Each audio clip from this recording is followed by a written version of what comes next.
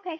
Um, I'm Kelli Tatum. Uh, I have a small Stafford program, uh, Breaking Bad Staffords. Um, I'd say my journey has been a bit of a roller coaster. Um, a, lot of good and a lot of uh, navigating, um, kind of through some challenges. Uh, it's been great though. Um, so I've always I always wanted to show from the time show and breed from the time I was a very young child. My original goal was American Staffordshire Terriers. Um, I just had always loved them. I knew about Staffordshire Bull Terriers, um, but they just it really wasn't a thing on my mind because one, they just especially they're not high numbers. They're not here in high numbers at all now, much less 10 years ago when I was looking, you know, kind of like looking into um, this whole thing. Um, but when I finally did have a chance uh, to get my, because I was raised where dogs were not, I did not have access to well-bred dogs. I did not know anyone in any, t- not even sports venues, um, not showing. Um, I just, I lived where dogs are property, and that's how people thought about it. Uh, so when I finally got to a point where I could get my first well-bred dog, it, um, I was looking into the breeds again, even though I knew Amstaffs were what I wanted. Um, and then there's just something about the Staffordshire Bull Terrier that just really drew me in, just because they're just they're just they just seemed so um it's like almost the same you know almost the same but just a smaller version. And it, it was intriguing to me. Um but trying to find a breeder i'm sorry i have a litter of puppies that are eight weeks old. If you can hear them i apologize. Yeah no worries. It's a them? dog talk dog podcast so that's that's they're, uh it's the way it should be they're eight weeks old and they they're man velociraptors right now. Okay, that's fine with me. No worries. Okay.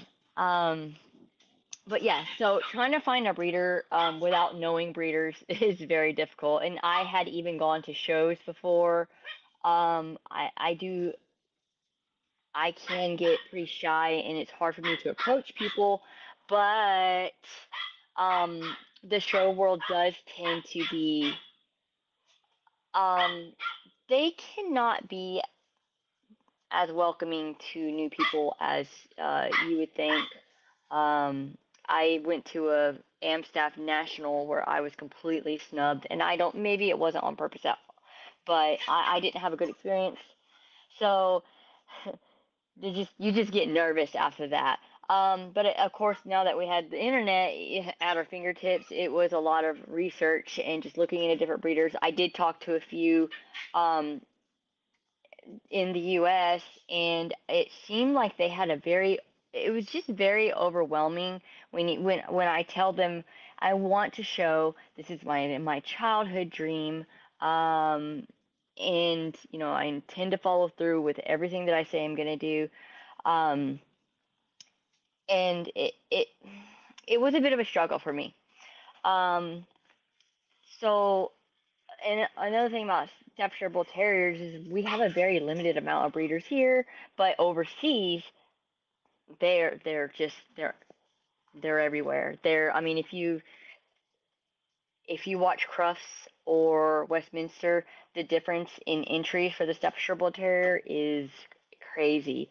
Westminster might have 10 Staffordshire Bull Terriers, but Crufts, you have 300 to 400 entries of Staffordshire Bull Terriers. Um, so honestly, it's it's you have a lot more options that way.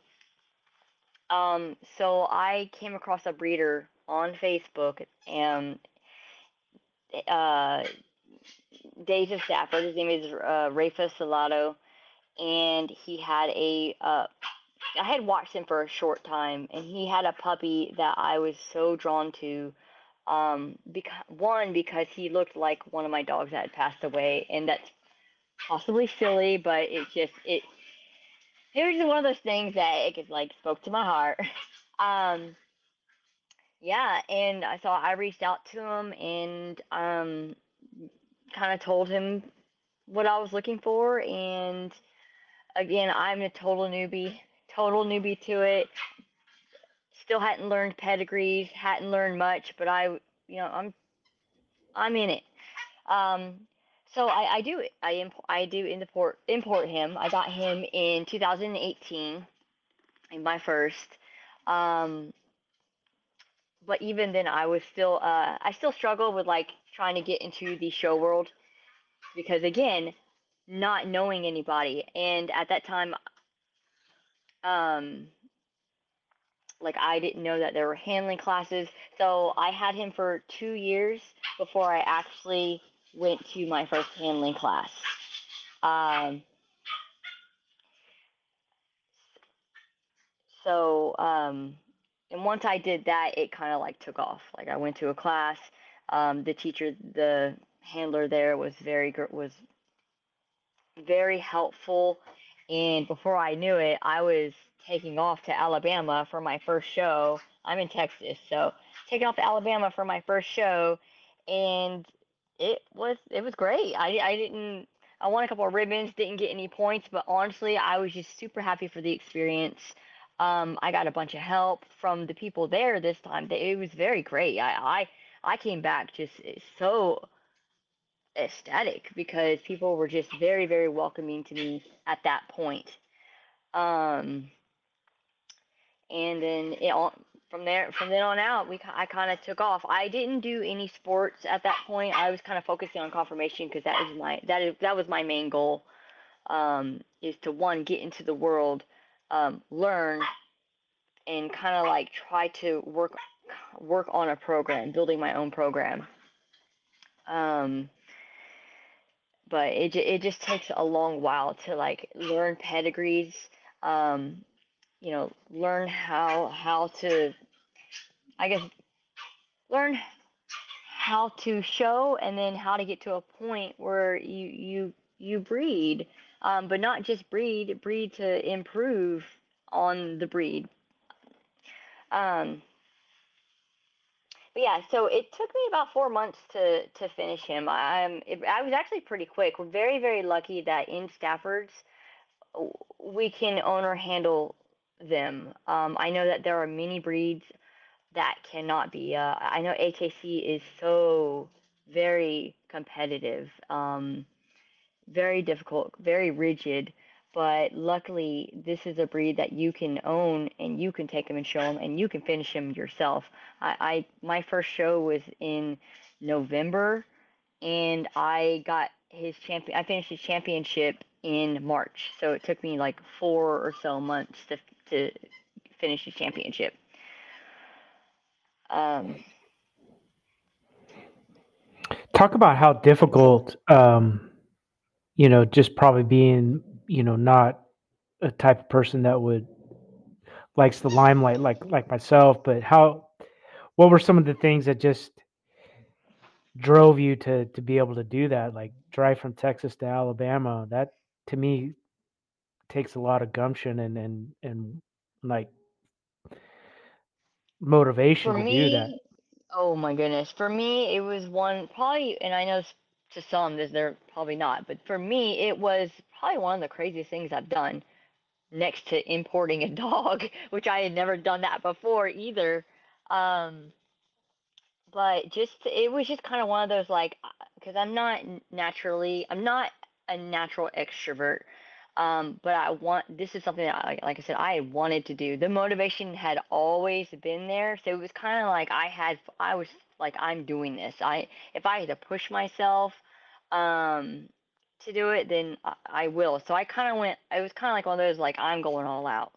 Um, I'm just um, this show because numbers aren't very big, um, I was able to find a, a Facebook page where it it's it's called where the where are the majors, and so I was able to find out where a lot of the other Stafford people were going, because um, uh, most shows there's not a big big numbers. It's just like anywhere from three to ten Staffords um, is kind of average. Uh, but this show in particular, I think, had like 20, 20 or 25, something like that. Um, and a lot of well-known breeders are there. So I thought this would be the uh, perfect chance, um, perfect opportunity. And there had been people that said that they would help me, um, kind of help me, guide me to where I need to go.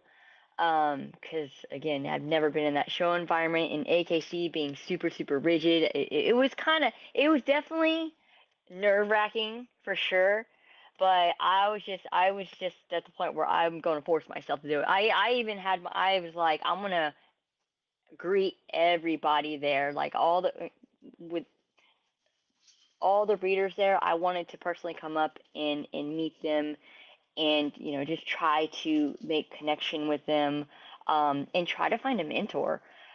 Honestly, um, it I don't want to say that I have a mentor. I, like I, for a while I, I had one and then she as soon as she was okay to mentor me she got out of the breed so that made it kind of difficult um, I, I did end up meeting someone at that show who did become she kind of still is my mentor she's more of a moral support she's she's there to kind of like cheer me on um, but just um, when I got up there, people people did help me out, and it was a great experience. I learned a lot.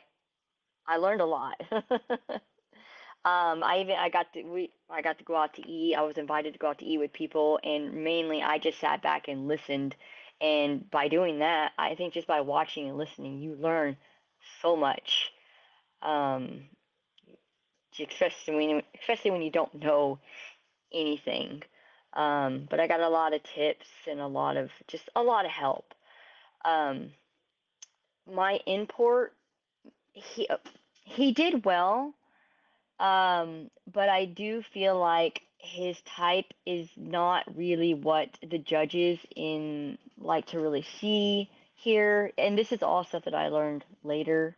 Um, he did finish quickly, um, but he just he wouldn't be a um a male that I can take to you know high end shows Montgomery or Westminster you know but he is a, a he was a good dog to start with. He was a great dog to start with um and just to have fun doing which is kind of really the goal at that point. I like I knew that I wanted a program but it's kind of baby steps first learning the ropes first um because at that point, I, in my mind, it's I can't I cannot breed a dog unless I prove that it's breed worthy. Um, not only showing confirmation, but temperament. You know, I do I did want to get into sports as well, um, but confirmation was still my my primary goal. uh, talk about your first experiences looking for that show quality breed quality Staffordshire and what led you um, to ju- just to decide to maybe that uh, importing was the way to go? I know you kind of touched upon it, but just elaborate a little more, maybe. So, um, again, being naive, not really knowing how t- to go about with the process. Um, for me, at that time, I just I wanted to make sure that one they they were legit because when you look overseas, eh, there's a little bit of you know there's a little bit of fear that you you know you can get scammed or you're going to get the worst of the worst. I, that that's very common to hear is that people that in importing you're at risk of getting basically the worst of the litter. Um, but um, I came I've joined a bunch of group a bunch of groups and like I said, most of our breeders are overseas. Um, so there's a lot, you know, so I follow a lot of them and then just coming across that breeder, um, and you can, you can see clearly in his, you know, what his accomplishments, what he's done with his dogs. Um, and to finish, to finish a championship on a dog in Spain is very difficult. Um, it, it is a feat to do. It's it is easier to finish a dog here than it is in Spain. Um, they have to be a lot more dogs than we have to here. Um, there are certain shows like here we 15 we need 15 points and two of those point two of those you have to have two majors which basically means you have to beat a certain amount of dogs um, and for texas i think you need to beat like five dogs for a major. But over there you have to be like a hundred. That's just kind of like an example. It varies across different countries.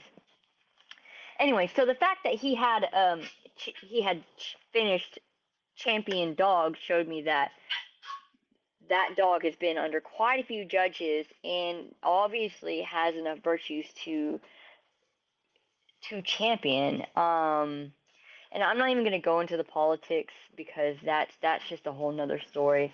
Um, some people feel that this, you know, sometimes the dogs aren't awarded based on virtue.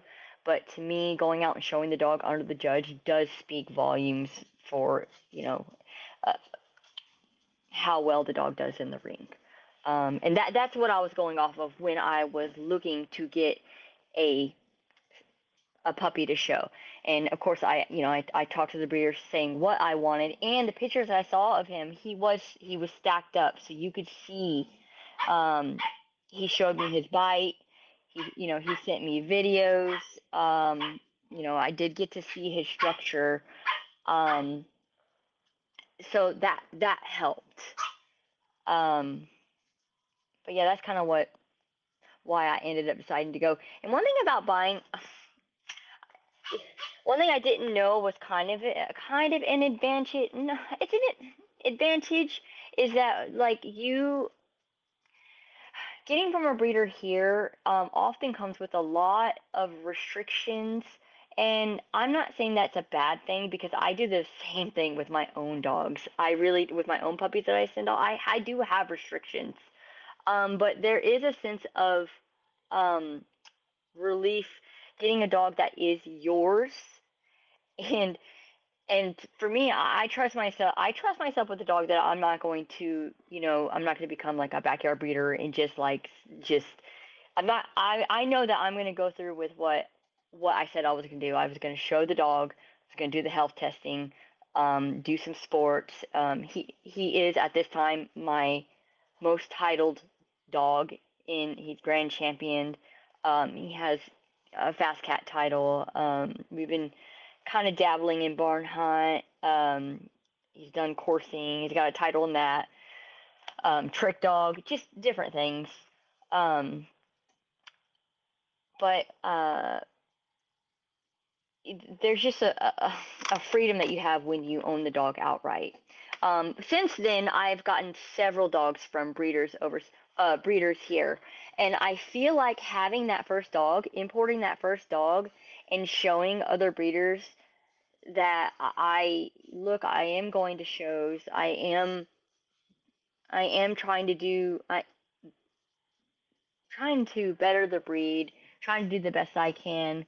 Um, you know, if my own program, I think it's it's it's good to show them that you are serious about your commitment to the breed because this community is here is very small and very very protective very protective of their breed um, you won't really see any staffordshire bull terriers in any shelters here or rescues because our breed club is very quick to get them out.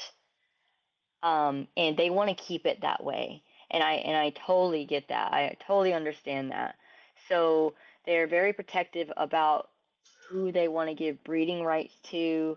Um, and I'm kind of I'm the same with my own puppies. I don't give out breeding rights um, to anybody um, unless they kind of want to get into the show into showing.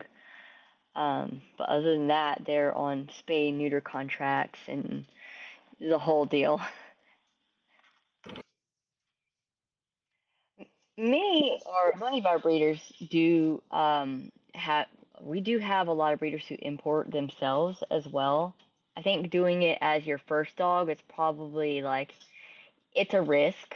Um, it is a risk, uh, especially if you're not too familiar with pedigrees, which at the time I, I really wasn't.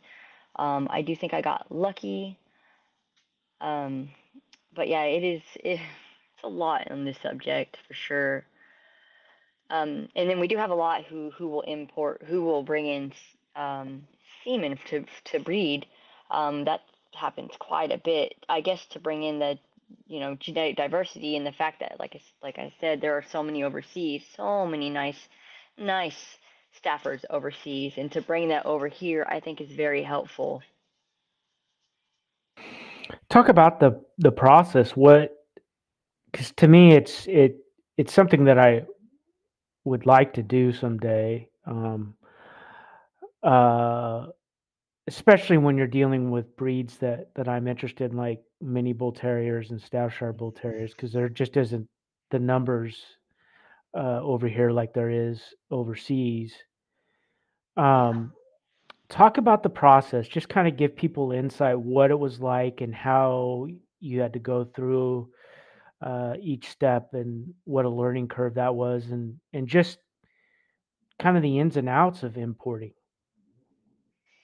Yeah, the um so I've imported uh well three times now. Um two or ones that the first time um eh, with my first it was a lot easier, but it was also back in 2018.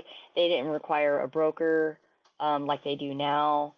Um and honestly, the breeder did most of the work. He he pretty much arranged everything. Um you know, I I paid I I paid the airline directly, which for me, never having bought a dog, never having imported, and hearing horror stories about people, even the the bank was like, "Are you sure? Are you sure?"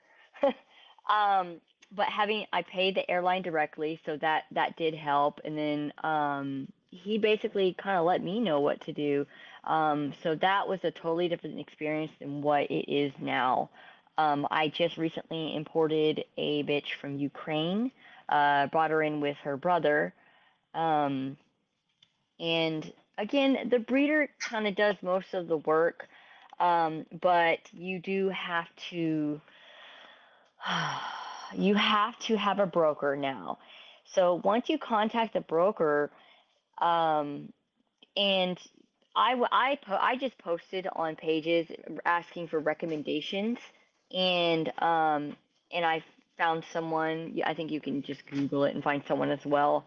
But once you contact them, they get all the information they need from you, and then they and the breeder do most of the work. Um, you have it, I, it is an extra cost to have a broker, um, quite a bit. Um, but honestly, it's it's worth it because they they do most of the work. Um, they kind of just arrange everything for you. So, and this time I didn't pay. I I, I paid the the breeder directly, and then I pay, paid the broker as um as soon as the as soon pretty much as soon as it was done um like established um yeah basically they do my they do more of the work. Um, I've never sent a puppy off um, far uh, farther than Canada. So as far as that part of the progress, I have or that part of the yeah of the progress, I really don't know how it works. Um, but it's just you basically give give you pay whoever needs to be paid, and they tell you where to go and what to do and what information to give. It, it's actually pretty easy that way. um, there's really no like filling out paperwork or you know signing on to this. It's just it's it's simple. the biggest thing. That's why I like to get recommendations. That that's this is why I'll never get rid of Facebook because you that's where I find my handling classes. That's where I found my breeder. That's where I found my mentor. That's where I found my, my broker. I feel like talking to people um, they and who give you references, they have dealt with them. They have dealt with them, so they know who to trust. And I think, yeah, that is a big deal. Is well, I guess there's kind of two worries. Is um, importing dogs in the summer is it's it's worrisome. Um, there's a danger of them overheating because they keep them in car. Uh, some some keep them in cargo. Um, some will get a nanny, which I think is the safest option when you're using or when you're coming from quite a distance and when you're doing it during the warmer months. Um, I think, in fact, I think there's restrictions now. I think there's certain months that they don't even that they don't fly puppies in. Um, but so that that's a concern because they keep, like I said, they keep them in cargo, and then when you get there, you're pretty much waiting a really really long time. Um, but and then the, and then oh yeah, and then you have to pay a gate fee. So really, there's a lot of fees involved. But I've actually found that with Staffords, it it costs me the exact same amount to import a Stafford than it does to buy one in the United States.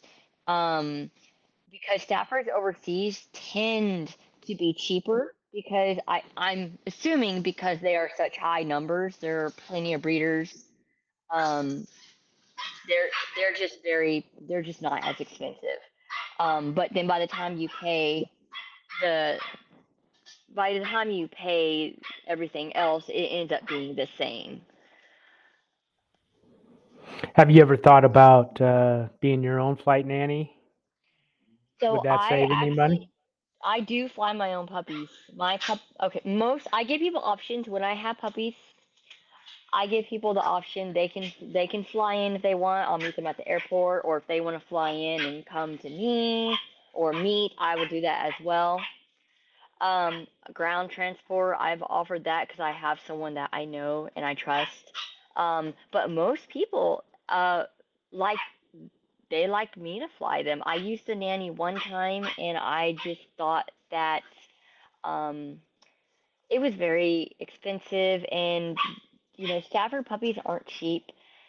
Um, and I think I think my puppies are pretty much average or even on the lower side of average.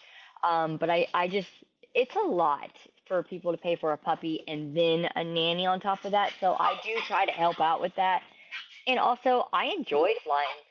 So um, I fly my own puppies. You know, it's I, I think I've done it maybe 15 14 15 times now and it's it's been I think I've only had one or two hiccups but pretty much it's uh it's gone smoothly for me.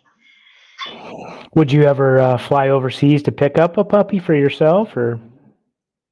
Um Colt my first breeder had actually talked uh, to me about that but uh, I might if I ever got comfortable enough doing it but at this point Probably not.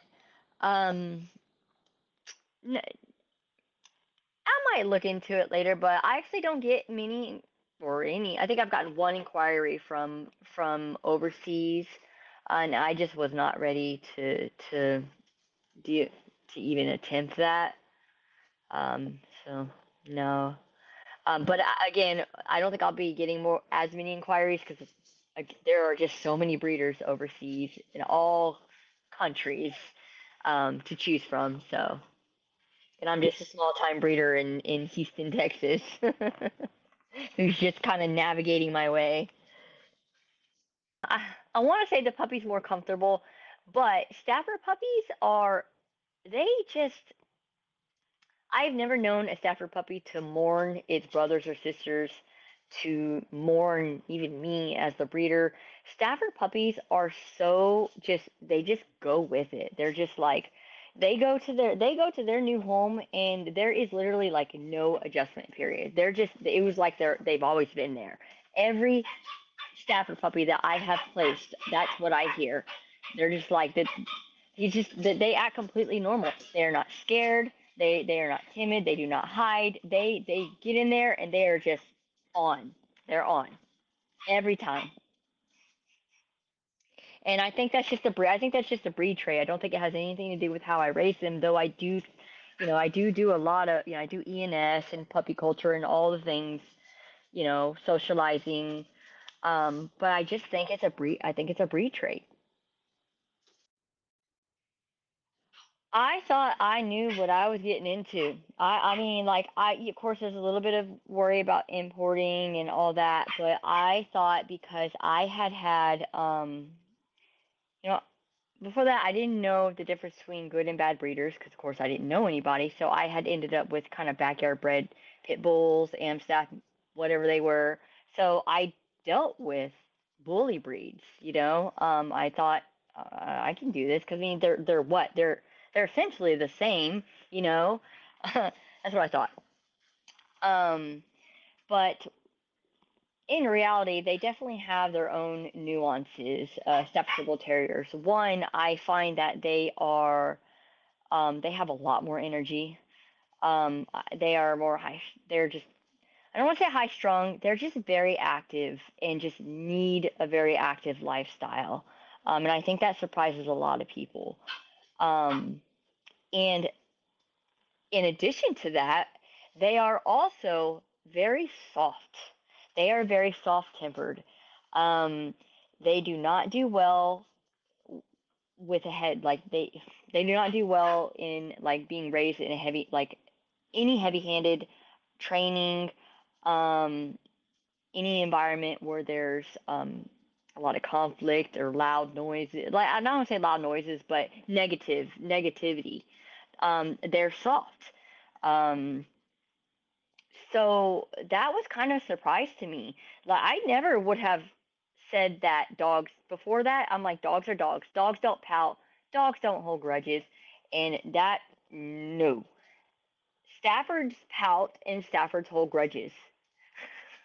they they're incredibly they, they just they they read the room really really well. If you're upset they are they feel it. They feel it. If you're mad they feel it. Sometimes to the point where they will like they will leave the room. Like they don't want you know they're remove themselves from that. Um i don't train like i do positive reinforcement with training um but i have seen you know i have seen them being handled like say on um, like a choke chain where when you correct them it's mainly the noise you know you kind of jerk the the the leash so the chain makes a noise it tightens up and releases. You don't do that to a stafford they they will flatten out like a pancake. Um so they're just overall soft. It's very it's actually very well known in the community that they are they are soft tempered um, they will break down at um, any type of heavy handed training. Um, they just fall apart. But they're so eager to like please. They they are so velcro. Like they want they just they want to make you happy. Um, and I guess that's not really too different from any other bully breed, to be honest. Um, but it's very extreme. Um, it's very extreme. This the the, the neediness is pretty extreme, but it's I think it's great because one, they don't really run off. Like they're not they're not big wanderers. They like to be with their family. And I'm not saying that that goes for every there's nuances in every breed, you know. I'm sure there's labs out there that don't swim basically. Um but yeah, they they'd like to be right there with their family. Um, and even other bully breeds, I know like in Amstaffs and any other bully breeds where they talk about like when it comes to children, how they are they have you know, they love children. Well this it is like it is a hundred times true with Staffords.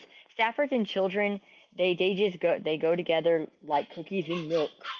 Um I can be at a show and I'll have my I'll have my Staffords and you know people walk by all the time, especially adults and my dogs are kind of like, yeah, okay.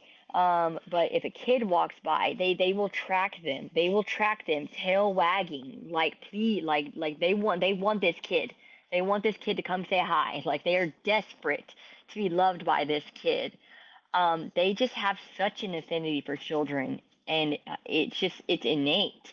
Um, and it's very I've never seen it so pronounced before than I have since having Staffords.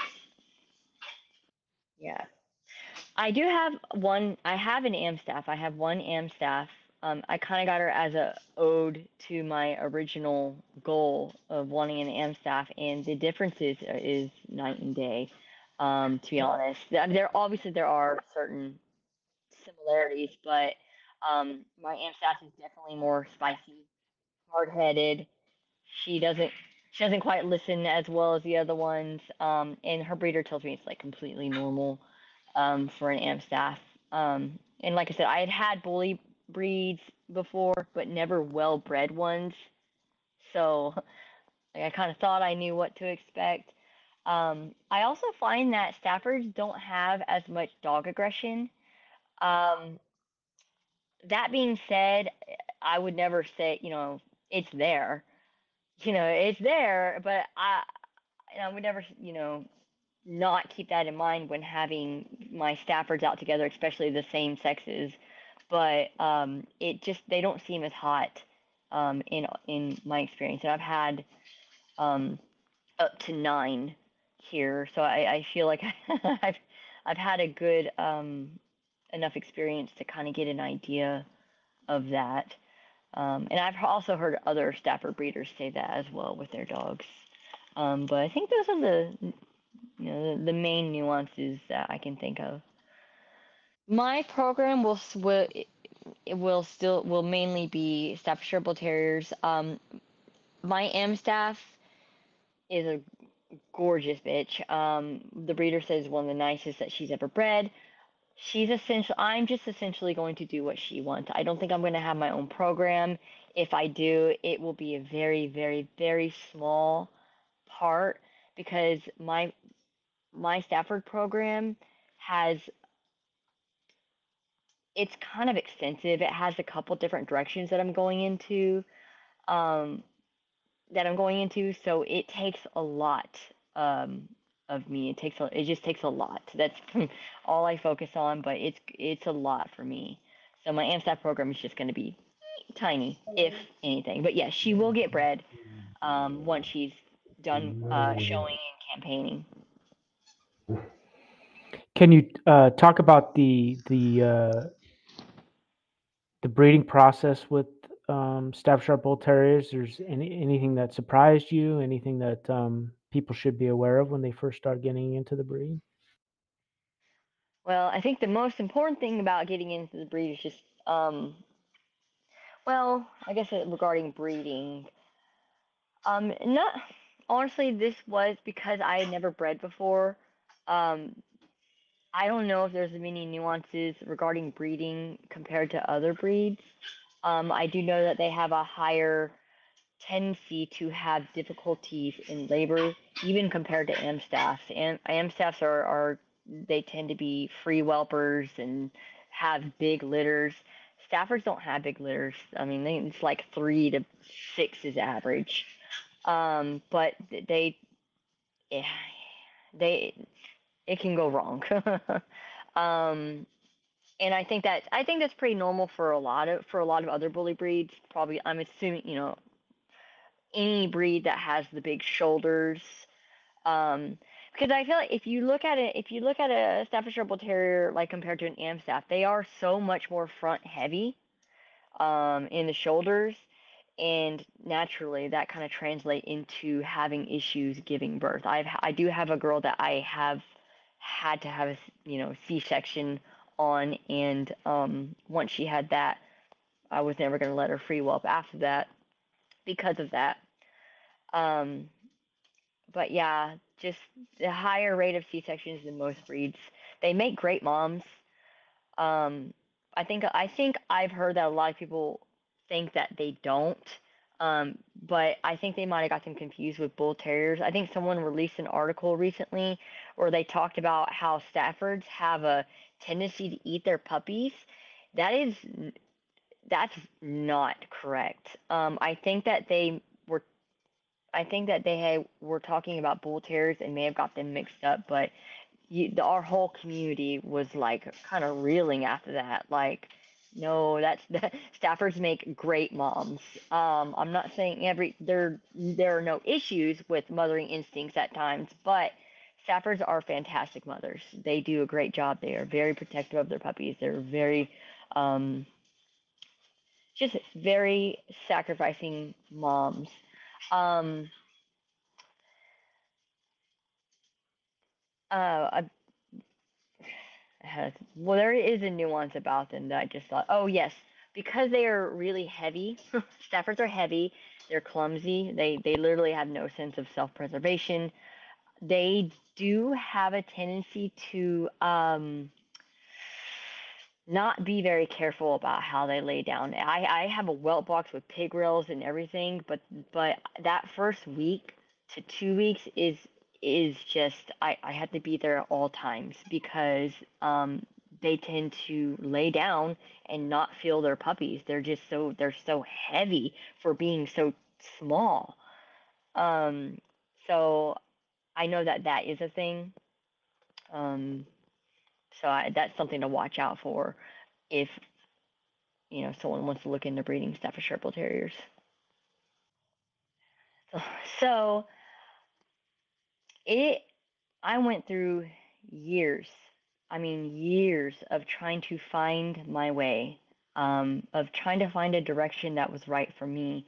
Um, not really having like one mentor um, kind of didn't help.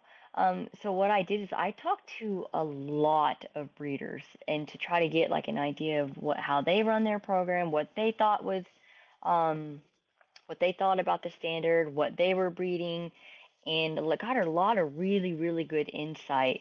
But as far as like, and, and a lot of them were just like find your type, find your type, and you know make sure it, it adheres to the standard, um, and then you know go from there um, but I still struggled.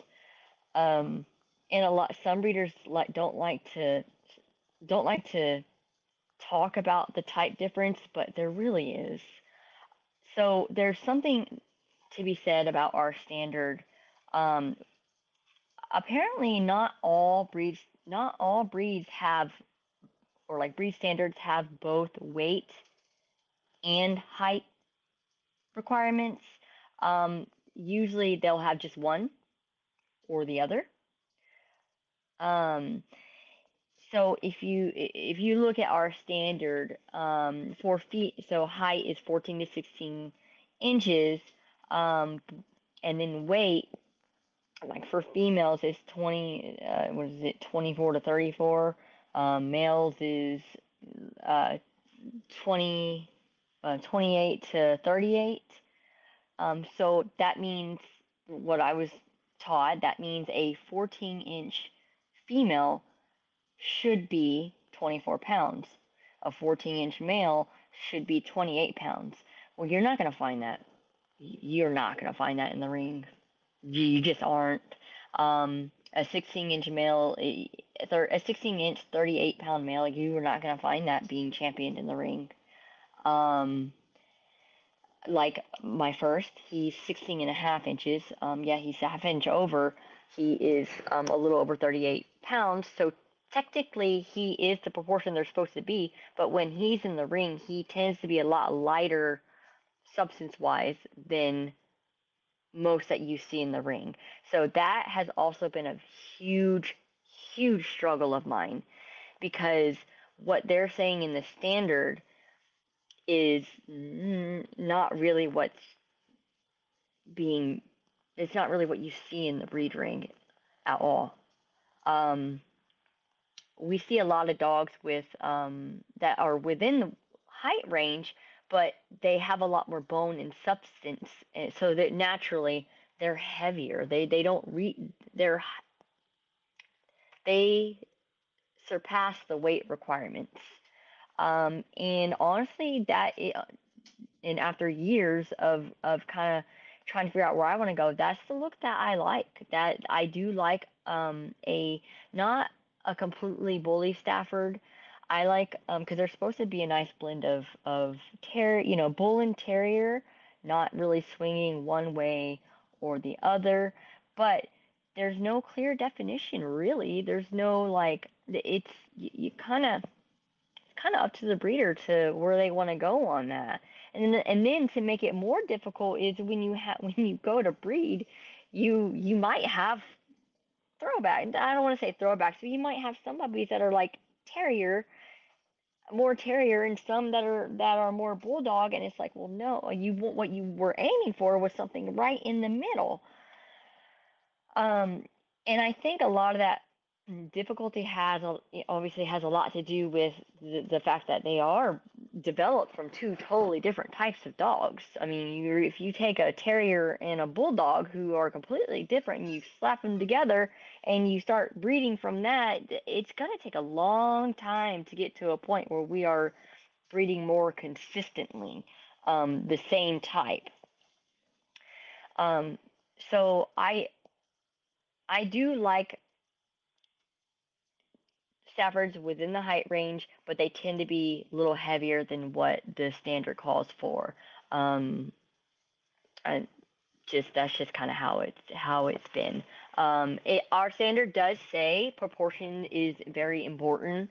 Um, I think that that's more uh, we put more emphasis on proportion being more important than actually following the exact guidelines of, of the height and weight because we have 18 inch Staffords who are winning groups, but they're proportional, they're nice, they're structurally, you know, sound. So that is more important than follow, you know, than this because we don't wicket.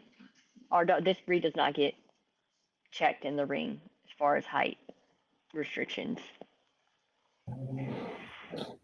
Since you've imported, you might have a little insight on this. What are what are the differences is in kind of say your FCI dog and your AKC dog? What is winning in the ring overseas compared to what's winning in in the United States? You kind of touched upon the United States, but what's what's the difference overseas?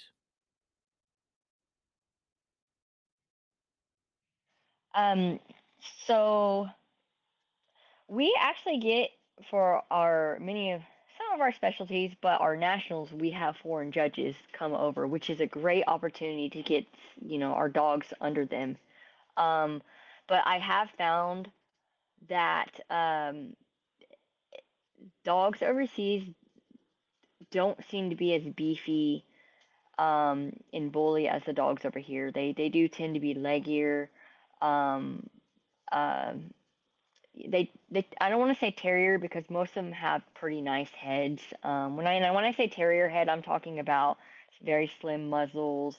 Um, you know, not we have our standard calls for you know sufficient cheeks. Um, but in a very terrier staff, we have some staffers that just have that very kind of wedge terrier head.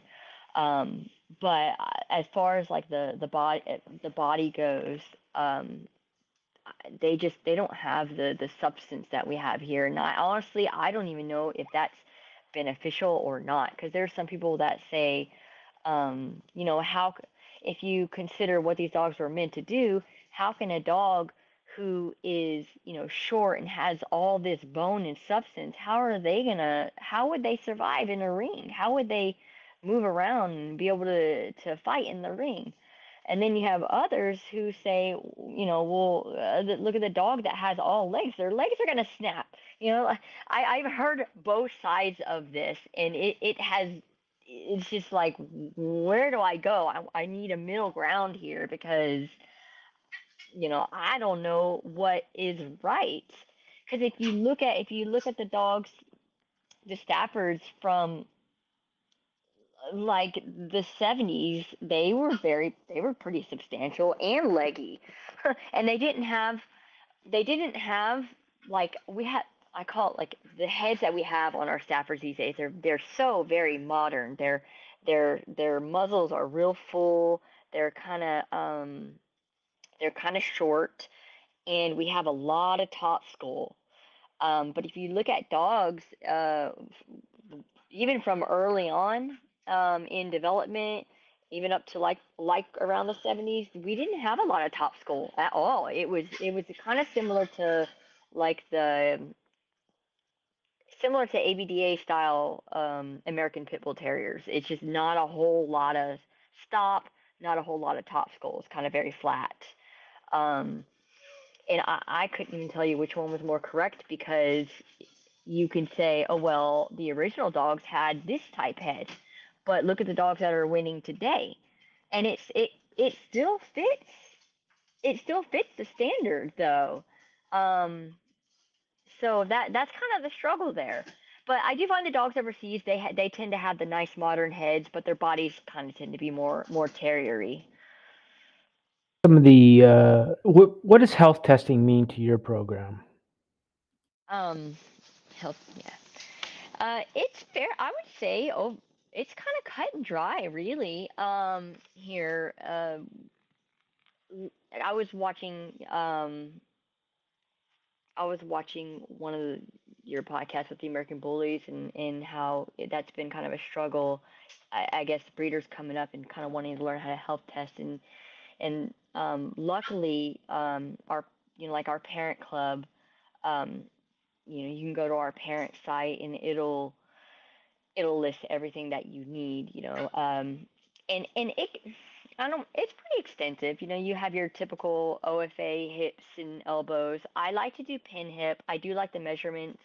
Um we're I think we're getting to a point where people want to um push doing both OFA hips and PennHIP because not only so it's like it's kind of like you have your measurements here so you're looking at you're looking at the laxi- laxity and looseness and then you have your you know your OFA and uh, your OFA view and they're kind of looking at how the the the ball the ball joints fit into the socket. Um, so you just kind of get a bigger picture. Um, and then patellas of course uh, the genetic panel um, we do uh, hereditary cataracts, um, which is part of the the genetic panel, but we're also supposed to get the eyes checked every year, along with um, and then we have to get the heart checked. Uh, patellas was listed as optional, but I think we have changed it now to um, required in order to get um, the full health testing. Um, but I would say that that's pretty pretty cut and dry. Um, I am not one that will um because there are some people out there that will completely eliminate a dog for having like mild hips. Um you know, eliminate a dog from a breeding program. I, I, I have different views on that. We have a lot of controversy because, like I said, our breed community is so very protective of our breed. Um, but from what everything I have read and seen, like if you have a dog that has mild hips, but but they I mean their PennHIP results might be you know average or maybe a little better than average, and you know they're bred to a dog that has great hips. You're you can get dogs that have fantastic hips, and actually that has happened to me. Colts, my first Stafford's hips went um, mild. Um, I did have an issue with the vet. I got them redone. They came back as fair, but that's still pretty poor. Um, and this was kind of before I knew, kind of, I wasn't as experienced oh, and I didn't know what I knew now. So I had talked to some people in the community and I was like, I guess I'm going to have to scratch him from my program. And I was devastated. I was like, I'm going to, ha- I'm going to have to, I'm going to start over basically. And I had some people were like, wait, whoa, whoa, don't throw the baby out with the bathwater.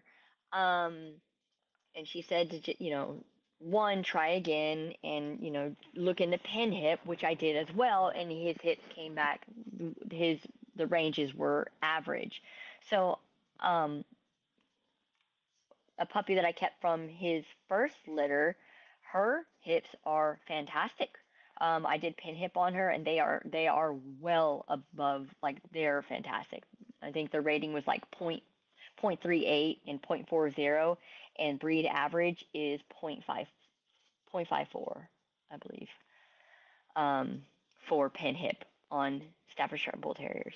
So um, I've kind of changed my view on how I handle those kinds of issues when it comes to health testing. For things like um, cardiac and um, eyes. Uh, they they ha- they oftentimes have clinic at shows. Um, like this last weekend, and at a dog show, they um, it was so it was like thirty dollars for eyes to the eye check and forty dollars for heart. That's two of the health testing out of the way for seventy. Was it seventy bucks? Yeah, forty and 30, 70 bucks. Um, the genetic panel, you can get that um, for at least for mine, you can get that for about 110. That that takes care of like three of the listed health testing. The big, the most, the biggest expense is the hips and the elbows. But even then, you can find reasonable vets. Um, I, I recently did hips and uh, elbows on the sire of these puppies, and that cost me under four hundred dollars. So um, I don't feel like the health testing should be used as a tool to cost to like charge more. Um, I feel like how I charge like how I charge for my puppies. Yeah, okay, health testing health testing is part of it, but it one I charge as like basically what the market value is, and I, and that sounds terrible as I say it because people are like, oh, she's in it for the money, but no, it I am putting money into these dogs, and it's not just health testing, okay? Because I can I can find health testing for for fairly cheap. I've gotten to a point where I can I can you know pull it together fairly cheap. But I'm also still, you know you know money spent in raising dogs, money spent in um, all the things that you need that goes into it. Um, showing uh, sports. And a lot and some will say well you know you don't have to show a dog to you know you don't have to do sports. But to me it's like yeah yes in order to br- in order to prove that the dog is, is worth you know worthy of being bred yeah that is something i need to do. And that is not expen- that is not cheap you know? Um it just it all adds up. Um as a whole not just the one thing not just you know it's not just the health testing that that that you can justify having high prices. It's the whole picture. It's it's everything. Um, because like I think there are going to be times where you you are going to take a risk health wise. There are situations where you take where you you going to take a risk health wise. When I imported um, my last one from Ukraine, um, parents were not health tested, but most most breeders overseas do not do health testing. So that is a risk that I'm taking. But but she, honestly, right now she is my nicest Stafford. Um, she just like you said, ticked all the boxes. Um, she's spectacular, and I can you know I'm just that you know when health testing comes that you know everything will be okay. Um, they were for Colt um, overall, but there will be times where you might have to take some risk and then accept that if it does fail, you might be a pet. It might end up being just a pet, or might end up being, you know, um, a dog that you might place if you if you don't want if you can't if you don't have the room, I guess you could say. Because when it comes to having a program, it gets to a point where you can only keep so many pets. If you're really, really, really wanting to improve your program and re- and you're just like this is what you want to do, um, there's only so many pets that you can keep. And I will tell you that in my breed and in many breeds, there are a lot of people who a lot of people who kind of disagree with this. Um, and kind of maybe I'm kind of going off on a tangent here, but I actually think it's really, really important. Um, no, go for it. I, I appreciate it. So, a lot like to keep. Oh, awesome. um, a lot like to keep their their animals for life, and I, I, do get that. A lot think that it's cruel to um, get a dog and to raise it and then place it if it doesn't belong. And and and this kind and, and this kind of goes in with it. My second point, it kind of goes in with it. So I'm going to include it before I say my point. Um, there's also a lot of people within my breed who disagree with breeding who disagree with breeding frequently. Um, a lot of breeders like to um, only breed, you know, uh, every few years. I think I, I, one breeder told me they they they bred three times in like twenty something years. Um, and I don't think there's anything wrong with that for their if that's what they want to do in their program. I don't think there's anything wrong with that. But I also don't think that there's anything wrong with a breeder who has a program where they do breed frequently. And I'm not talking about pumping out puppies to make money.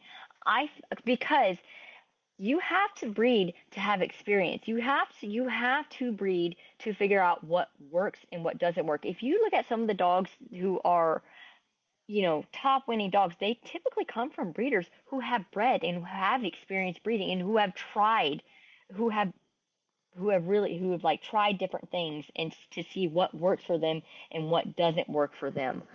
Um, I don't think there's anything wrong with breeding maybe a couple times a year, um, as long as each each breeding has a goal to improve. Each each breeding has a goal in mind.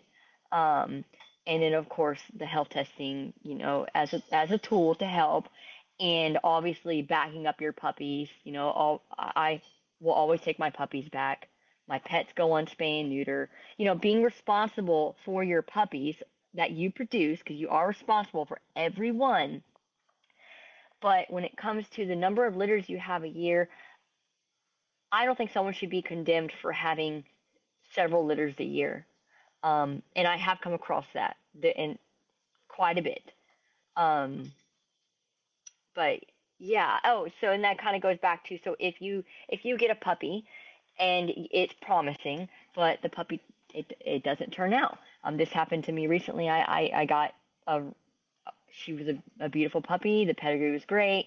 Um, both parents championed. Um, and she just she ended up she had a elongated soft palate.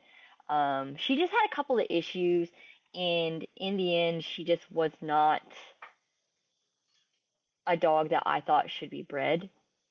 So I I ended up getting um, the palate surgery done on her to kind of help free up her airways, and I spayed her. She was almost two years old, or at two years old, and I ended up sending her to a pet home. And a lot of people think that's cruel, but I don't because she's gonna sit in my she's gonna be here and she, yeah she'll be a pet and I, I I love my dogs but I I have a goal and I want to reach that goal and I can only have so many dogs to uh, to reach that goal um, and I do believe that it's unfair to her because I am going to be going to shows or sports and and you know I guess she could do sports but I need room for my up and comers. And that may be controversial to some, but I don't agree with it.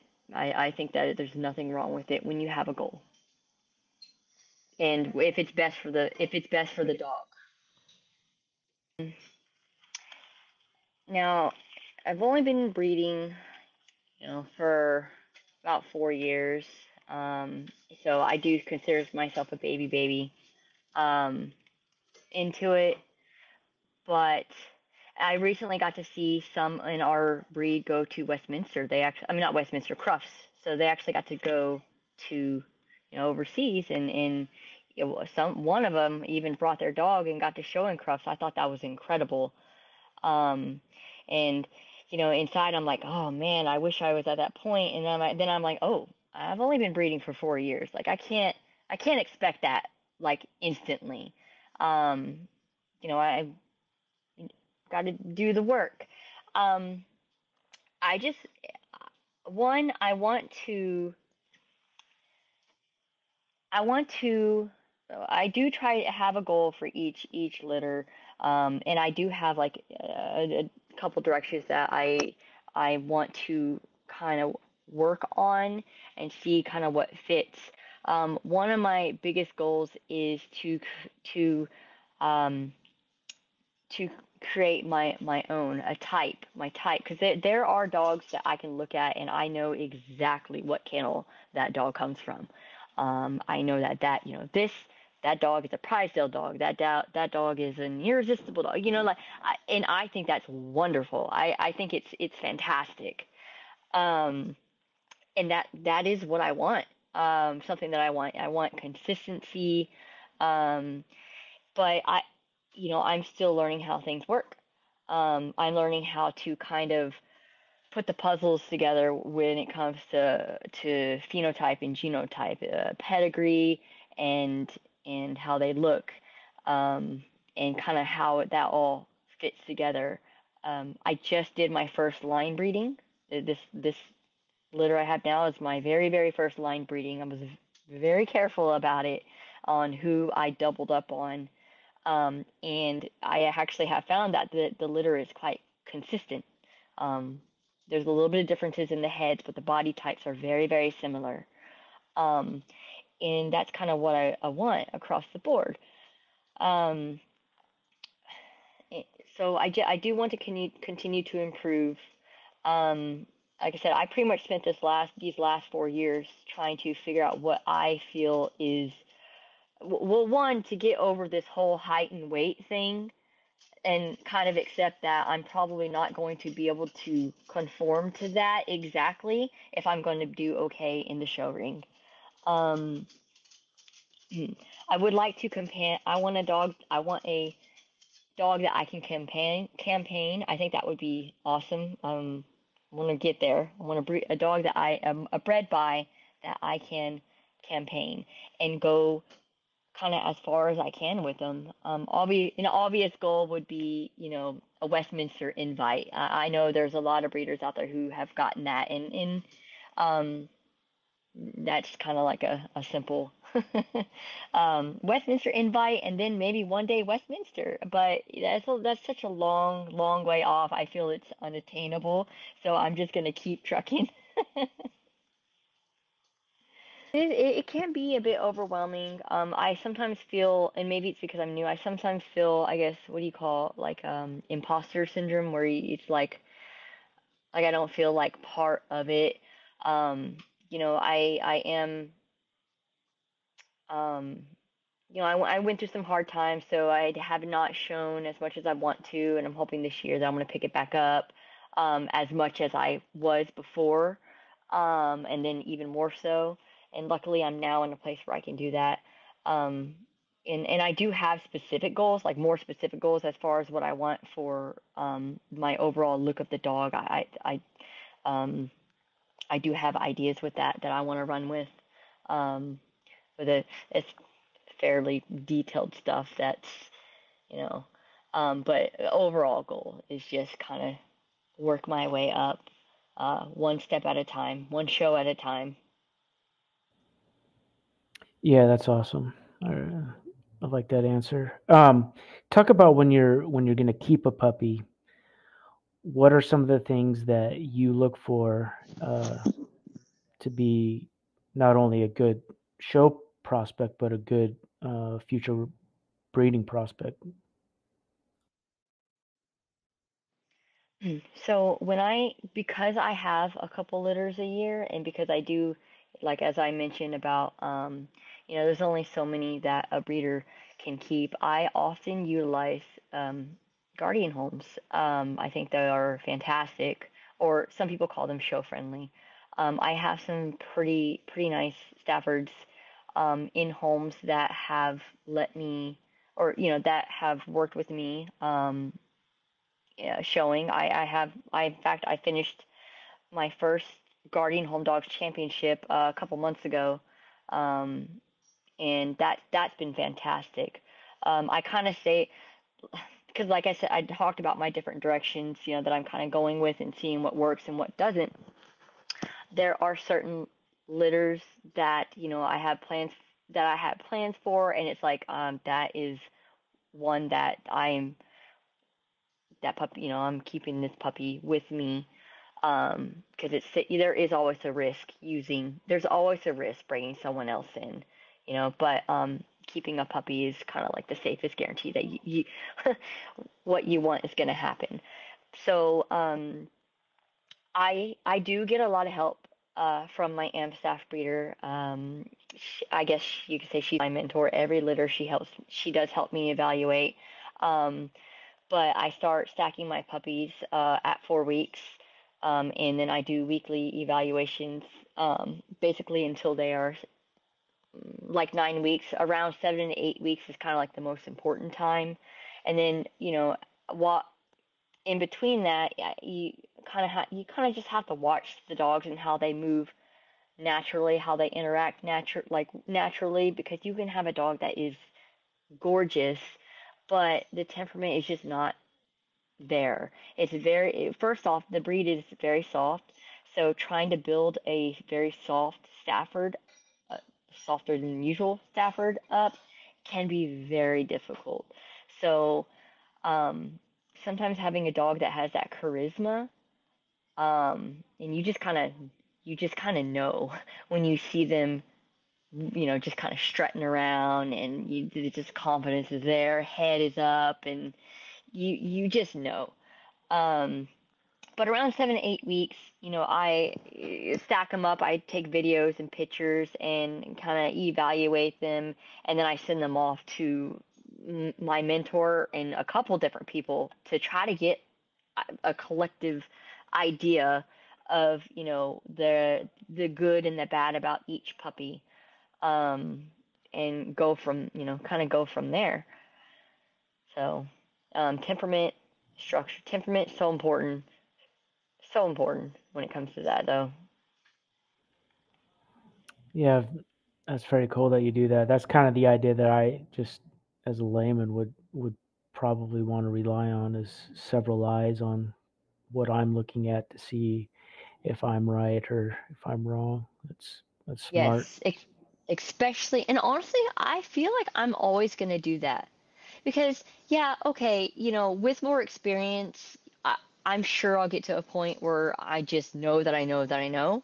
But I feel like a way a good way to prevent um I guess what they call kennel, blind, kennel blindness. I think a good way to prevent kennel blindness would probably be to get, you know, idea to get others' ideas and opinions, um, and to see if they see something that you don't see.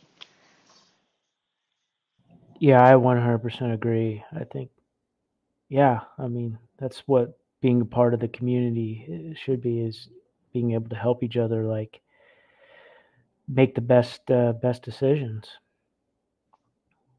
Um, there are a couple breeders in uh, California. Uh, there's like a sm- kind of small group. They have um, puppy evaluation parties. Um, they bring their litters together and they all evaluate each other's litters. And I think that's fantastic. I wish I lived in California at that time. um, we don't have any breeders down here to to really do that, but I think that's wonderful, and I think that that would be great to become a normal thing ac- across the board. You know, the biggest challenge was was finding finding the type and kind of where I wanted to go. That that I would say absolutely that is the biggest issue I had, and it took it took years to get through that um, and kind of where I finally have settled on where I want to go. And then it also took accepting the fact, it also took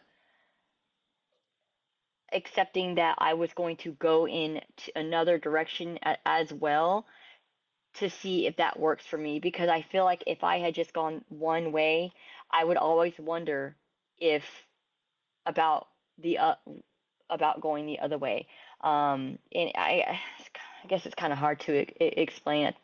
Um, but I have my dogs I have now, um, basically from my first boy, um, to his daughter and, and now I now have a daughter from her. So basically the line that I've kind of established now and then the import that I have from Ukraine, she's a kind of a totally different type, totally different line. That's kind of what I'm gonna go for. Like I'm also gonna go forward with her, kind of in a different way, and then maybe in the future see if they can kind of intertwine in some way. But right now, I'm not really worried about that. I'm just gonna um, just go forward. But uh, other things that I have issues with is um well one, I'm still I'm still learning structure. I, I I mean I think I got it. I'm pretty sure I got it down, but there are certain things that are difficult for me, like um movement. Uh, movement for me, um, like I still have to video movement and I have to slow it down and watch it in slow motion. Um, I know that eh, movement is so important because it goes hand in hand with structure, and so I'm really, really trying to learn that. I would really like to be able to look at a dog in in real time, move, and be like, oh wow, that's you know that's beautiful, and I and I'm getting there. All that takes is just time. It just takes time. Um, but I'm working really hard on that. And then you know, not just like the side movement, you know, their extension, their um, or their reach and extension, but they're down and back. Um, you know, Staffords, they don't, they're not really supposed to converge. Their legs are supposed to move parallel, both front and back. And honestly, it's kind of hard to find that movement, that kind of movement in Staffords. So that's been a struggle for me. Um, and I'm just kind of trying to see how that fits in with, you know, if I have a puppy with nice structure, but it converges in the rear a little bit, you know, am I, j- I gotta be willing to kind of see what I'm gonna sacrifice here when it comes to moving forward. Um, there are other issues like um, I I like the color blue uh, in Staffords, but there is kind of a big bias um, towards blues right now. You don't really see them in the ring. A lot of breeders don't want to deal with it. A lot of breeders look down on it. Um, there's even a contradiction in our standard about it. Blues are completely acceptable in our breed standard, in our breed, but it also states that they have to have a black nose. Um, well, blue staff blue Staffords cannot have a black nose. It's genetically impossible. So, you know that that that it seems so minor, but it can really really throw things off. Um, and then there's by there's kind of some myths surrounding health issues. Some are true, some aren't. So, like I said, a lot of breeders don't want to deal with it. And I have been told many times that I should watch out what I show, including a blue dog. If I try to show a blue Stafford, I'm probably going to get flack. I'm probably going to get um I'm probably going to get a lot of talk about it and not in a good way. And so I actually had my first litter with Blue um a, a little while ago and I have one that will be kind of up and coming in the ring and I'm a little nervous. I'm excited, but I'm nervous about it um, you know, it's kind of like I don't want to ruin my reputation, but I also feel like I'm not really doing anything that is wrong. Um, you know, because it's acceptable color. Um, I think a lot of people's concern might be that I'm trying to be a color breeder, and when the fact is I, I'm I'm absolutely not. I just I enjoy that color, and I feel like a nice blue should be able to be shown and championed. And there are some breeders out there that have had blues and have championed them, but it's just so very rare. It just doesn't happen often. So I kind of just want to make it more of a normal thing, um, just kind of more more normalized, more normalized, basically. Um, and another, uh, probably the last struggle, I guess, would be learning lines in pedigree. and I'm sure that's with everybody, but that's just uh, it's a lot of information. It's a lot to learn, and you just really have to be your whole heart and soul has to be into it to just learn it all. um, but I think it's important to utilize history to kind of work towards the future. So if there's something that you could change about the uh, the show world, what would it be?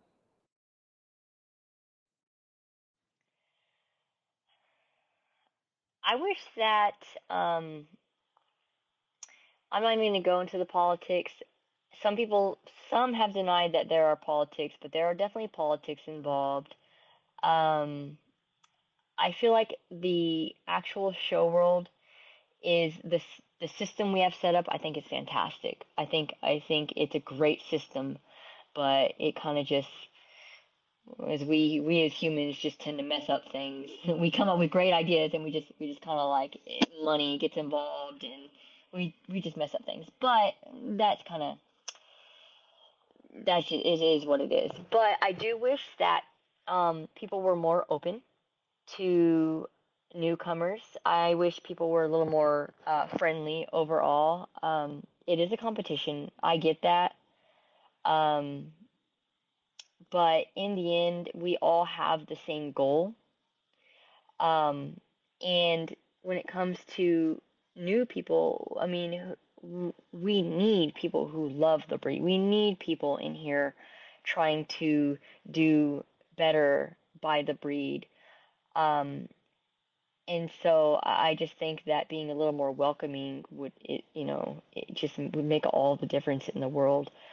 Um, I find it frustrating when there. I mean, obviously losing isn't fun, but everybody loses. Um, everybody loses, and everybody has their day. Um, and I I feel like accepting your losses and celebrating your wins is, uh, you know, I, think that just all just comes with it. Um, I've seen it's different being in the show world than when you were than like before when you're on the outside looking in. You know, in my head it was always like, you know, I can only breed if I champion a dog, and you know, um, you know, people who everybody who shows is ethical, and, and it's kind of you know stuff like it's kind of not really how it is. Not everybody who shows is ethical, and honestly, not every dog who champions, you know, or who doesn't champion shouldn't be bred either. Sometimes there's there's good dogs that just don't do well in the ring, but have to like really, they have. I've been told that some of the best dogs had never stepped foot in the ring. Um, I've been told that by a couple different people with a lot of experience, and I I can see that, and I can now I can see that, and understand and kind of understand it. Um, I also wish that breeders, I wish that we could all like get together, like sit ringside and be able able to discuss our dog's faults and not get offended with it about it. Um, I think that it that would be so beneficial. Um, you know, I think that would be beneficial as a whole to be able to discuss your faults and um, with other people and kind of like I learned from it, you know? Um, I really could have used that when I was trying to learn structure. Um, because I was just trying to like look at every dog and and look at okay, okay, what is the good and what is the bad? But I could not go up to that owner and be like, "Hey, could you tell me what the you know what you like about your dog and what you don't like about your dog? Could you tell me what you you could improve on your dog?" That does not fly. You can't do that. And I feel like we should be able to without getting offended. Yeah, no, I agree with you. Eh, but I also, I also know myself. So that would be something that I would have to be really conscious of, not to let my emotions get in the way, especially if I didn't like that other person that was uh, critiquing my dogs. Um, I was to say the thing is, is that in AKC we don't get the judges don't really tell you why they didn't put up your dog. Um, so you're not really getting any feedback. You can ask them, but a lot of times they're so busy that by the time you get back to them, they may not even remember, you know? And I feel like because of that, we should be able to talk to others. And and like okay yeah it can kind of be hurt hurtful to hear the the negatives about your dog but it also helps how you approach you know how like if a person's coming at you and being like oh your dog's rear is really bad no no no that's just the wrong. There's a there's a right and a wrong way to approach it. You know that you, you you can have some tact talking about you know your dog's fault. And I'm not saying like you should go up to somebody and be like, hey, your dog is whatever. I feel like people should come up to each you know can, should come up to each other and they have their dogs and be and you can be like, this is what I think. You know this is what I like about my dog. But I wish I I wish she had a better top line. I wish she had better ears. You know, I feel like her rear could improve. Um, you know, and, and then be able to talk, like, y'all should both be able to discuss dogs without anybody being getting offended because everybody's goal is to fix is to fix the no dog is perfect and the goal is to fix those flaws. And who knows being able to talk about it might you know might be beneficial. That person might be like oh you know i know you know my friend has this male that has a fantastic top line and and good re- everything that you are wanting. You know would you like to get you know i could maybe i could help you. It just i feel like that would just be beneficial as a whole